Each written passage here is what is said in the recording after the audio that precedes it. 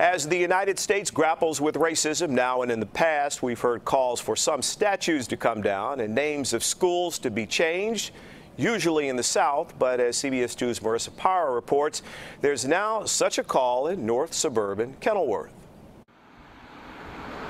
Nestled in Kenilworth Village, complete with manicured lawns and pristine American flags, is the Joseph Sears School, the area's newest brewing controversy. People don't know who Joseph Sears was and what he actually wanted to do. If they really taught that in this school building, I can guarantee you someone would have started this petition a long time ago.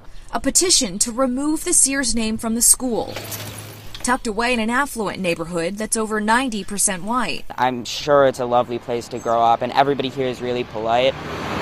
But the history of the village itself is why Solomon Podorovsky and Jack Yonover are petitioning for change. Kenilworth really kind of stands out as the town that limited sales to uh, whether it be Jewish people or black people. They wouldn't sell to them. We did some more research. We actually found that Joseph Sears, the guy the, that this school is named after, was the guy who put that into place. Citing historical documents and journals, the two said they learned that upon founding Kenilworth over 120 years ago, Sears had four visions per this quote.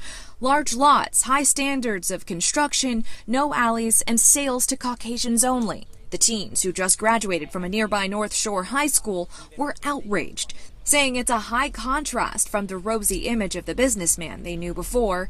The school website boasts the founding father as an accomplished businessman who served with the Union Army. The teens exchanged texts, and the outrage became this petition with a simple short term goal. We hope to see the name of Joseph Sears School change and long term. We want to educate students about who he was and how this community was built in a racist way. Which means incorporating the good, the bad, and the ugly of Chicago area history into the curriculum. The biggest thing is people say, well, we shouldn't erase history. This is not about erasing history. This is actually about educating people on history. The petition has garnered thousands of signatures, and while it's a start, they say the signatures remain just that until there's tangible change. I think trying to fight racism with our, within our country is an effort on all of us. We all kind of have to do our part.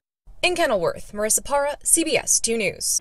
Both students tell us the school board seems receptive, but no action has been taken yet. Our calls and emails to both the village president and the school board have not been returned.